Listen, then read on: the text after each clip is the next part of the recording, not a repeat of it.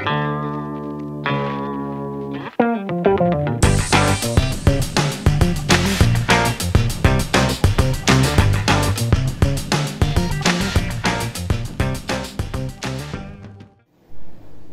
everyone welcome to Goldie's tasteful kitchen आज मैं जो रेसिपी शेयर कर रही हूँ, वो बिगनर्स के लिए है, जिन लोगों को चपाती बनाना नहीं आता है, वो कैसे चपाती का आटा लगाएँ? तो मैंने ये दो से ढाई कप आटा लिया है, आप कम ले सकते हैं। मुझे इतना लगाना है, इसलिए मैं आपको इससे बता रही हूँ। इसको परांत में ले लेंगे और ऐसे थोड़ा सा जगह बनाएँगे, पानी डालेंगे हल्का हल्का मिक्स करते जाएँगे। कुछ लोग इसमें नमक डालते हैं, जब चपाती या फुलके का आटा बनाते हैं बट मैं इसमें नमक नहीं डालती हूँ। तो जैसा आप करते हो, अगर नमक डालते हैं तो केवल नमक और डाल दीजिए। इस आटे में हम मोइन नहीं डालते हैं। इसमें हम सीधा पानी से इसको लगाते हैं। ऐसे मिक्स करते जाएँगे हम इसको। थोड़ा थोड़ा पानी डाल के। आप एकदम ज़्यादा पानी ना डालें, नहीं तो आपको नहीं पता चलेगा कि आटा गीला हो गया है या थोड़ा टाइट है। हम शुरू से ही इसको बहुत टाइट लेके नहीं चलेंगे, क्योंकि आटा हमें चपाती के लिए सॉफ्ट लगाना है। तो मेरी ये रेसिपी पसंद आती है तो लाइक कीजिए शेयर कीजिए अपने फैमिली और फ्रेंड्स में। बेल आइकन प्रेस कीजिए, ताकि मेरी लेटेस्ट अपडेट्स आप तक पहुँच सकें। आप शुरू में एक कप आटा लगा लीजिए। आज मुझे गेस्ट आ रहे हैं तो थोड़ा ज़्यादा लगाना था। ये देखिए, एक साइड में लगा हुआ आटा करते जाएँगे, एक साइड में सूखा आटा ले लेंगे और सूखे आटे में पानी डालेंगे। अब हम देख रहे हैं कि ये थोड़ा सॉफ्ट है। इसका मतलब ये हम थोड़ा सा बाद में लगाएँगे और इधर से हम ये थोड़ा सा सूखे आटे में फिर से पानी डालेंगे। बेल आइकन प्रेस करने से मेरी लेटेस्ट अपडेट्स आप तक पहुंचेंगी। आप इस तरह से अब इसको हाथ से ऐसे मुक्की लगाएँगे और आटे को चिकना करेंगे। जितना अच्छा आटा लगा होगा, उतनी ही अच्छी चपाती बनेगी। थोड़ा सा ऐसे हाथ गीला करेंगे, पानी नहीं डालेंगे, हाथ गीला करेंगे और दोनों हाथ से ऐसे ऐसे मुक्की लगाएँगे। ये देखिए, बिल्कुल भी मुश्किल नहीं है। ज़्यादा पानी नहीं डालेंगे ज़्यादा टाइट आटा भी नहीं लगाएँगे। जितना सॉफ्ट आटा होगा, उतने ही सॉफ्ट इसकी चपाती और फुलके बनेंगे।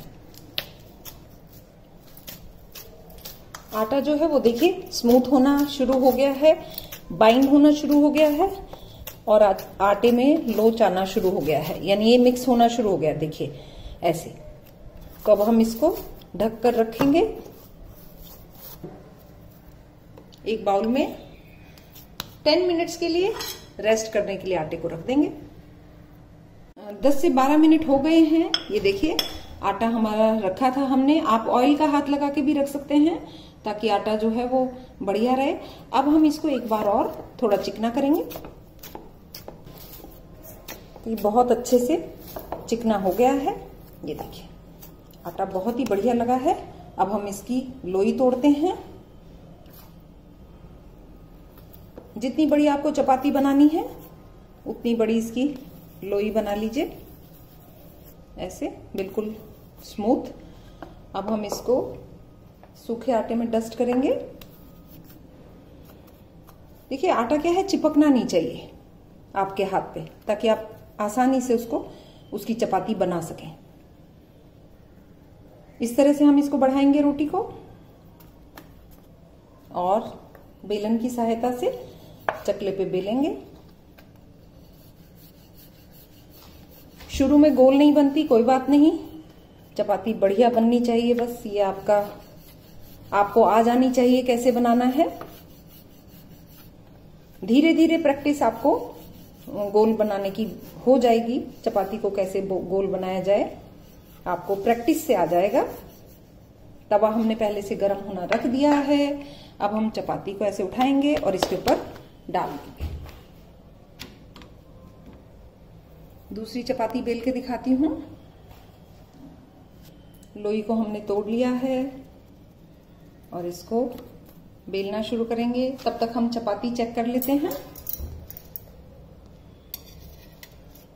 यस, इधर से हो गई है। अब दूसरी तरफ़ से पकने देते हैं और ये चपाती बेलते हैं।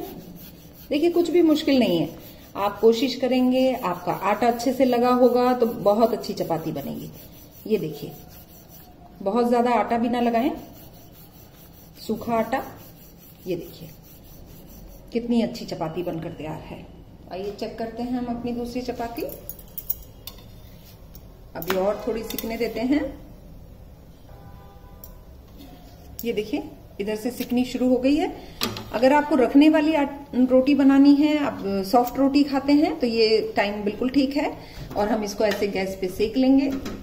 थोड़ा सा हिलाते डुलाते हुए, किनारे इसके करते हुए, और अब हम इधर से क्रिस्पी खाना है तो ये देखिए, क्या फूली फूली रोटी बनी है।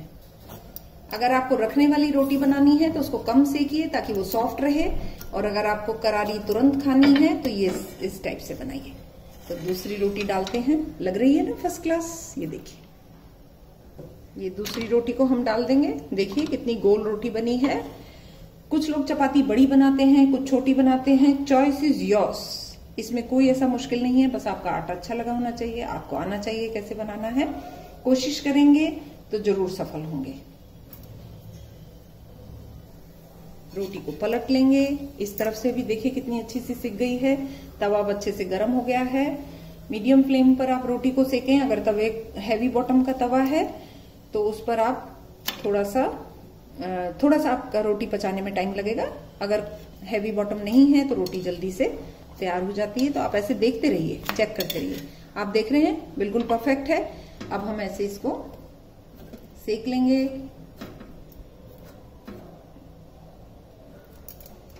ये देखिए, कोई भी रोटी आपकी बिना फूले नहीं रहेगी।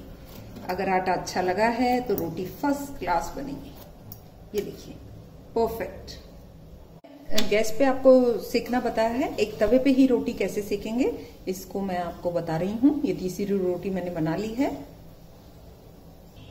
रोटी को पलट लेंगे। जब भी आप रोटी पलटें, आप शुरू में सीख रहे हैं, हम लोग ऐसे हाथ से भी पलट लेते हैं, हमें कोई मुश्किल नहीं है। बट आप ये चिमटा जो है, ये ज़रूर साथ रखें ताकि आपका हाथ जले नहीं। धीरे धीरे प्रैक्टिस से ये सब आता है। अब ये देखिए आप, इधर से अच्छे से रोटी सीख गई है। तो ये तरीका है, एक साफ़ कपड़ा लीजिए। आपका किचन टॉवल जो भी साफ़ है, उसको लीजिए। ऐसे आप इसको किनारे से सेकिए और फिर ऐसे प्रेस करते हुए दूसरी तरफ़ से सेक लीजिए और बिल्कुल फुला हुआ फुल्का बनेगा आपका। जिनको नीचे सेकना नहीं आता है, जो बॉयज़ हैं, वो ये सब कर सकते हैं। ये देखिए। तो आपका हाथ भी नहीं जलेगा और आपको मुश्किल भी नहीं पड़ेगी। और देखिए कितना खूबसूरत, कितना बढ़िया फुलका बनकर तैयार है। देखिए कितना सुंदर फुलका बनकर तैयार है। अब हम इसमें लगाते हैं थोड़ा सा घी। घी बटर जो भी आप लगाएँ। ये देखिए। लग रहा है ना शानदार? तो ट्राई कीजिएगा, कुछ भी मुश्किल नहीं है। मुझे काफ़ी लोगों की रिक्वेस्ट आई थी कि मैम, हम लोग बिगनर्स हैं, चपाती का आटा लगाना आपने नहीं बताया है तो वो बताइएगा। Thank you so much for watching my recipes